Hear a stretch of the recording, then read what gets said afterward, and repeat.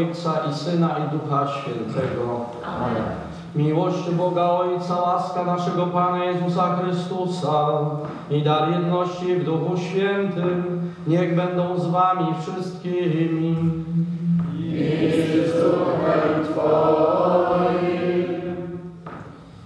W tym okresie Wielkiego Postu zatrzymujemy się tutaj przy Chrystusie, aby poczynić rachunek naszego sumienia, aby ten, który za nas cierpiał i umarł, także pomógł nam zmartwychwstać razem z Nim do nowego życia.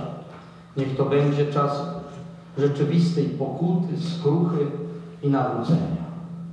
Dzisiaj w naszej kaplicy witamy bardzo serdecznie delegację z Polski.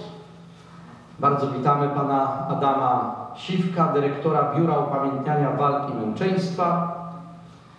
Witamy panią Marzenę Kruk, dyrektora Archiwum Instytutu Pamięci Narodowej oraz panią Teresę Galewicz-Dołową, kierownika sekcji kształtowania i ewidencji zasobu archiwalnego.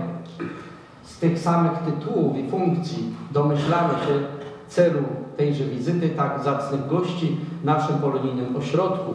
Po raz pierwszy chyba w historii na tak wysokim szczeblu państwowym.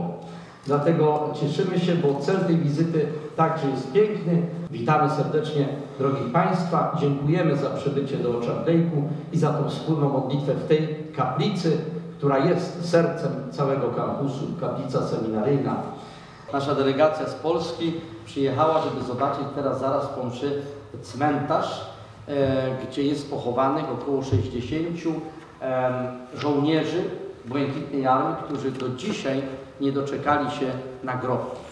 I między innymi taką misją jest zobaczenie, żeby wreszcie ich uczcić. Więcej o tym będziemy mówić w przyszłości, ale jestem bardzo wdzięczny, a wszystkich, którzy drogą radiową nas słuchają, szczególnie em, naszych e, nasze media polonijne, nie tylko. Zapraszamy jutro na konferencję prasową w bibliotece o godzinie 10 rano.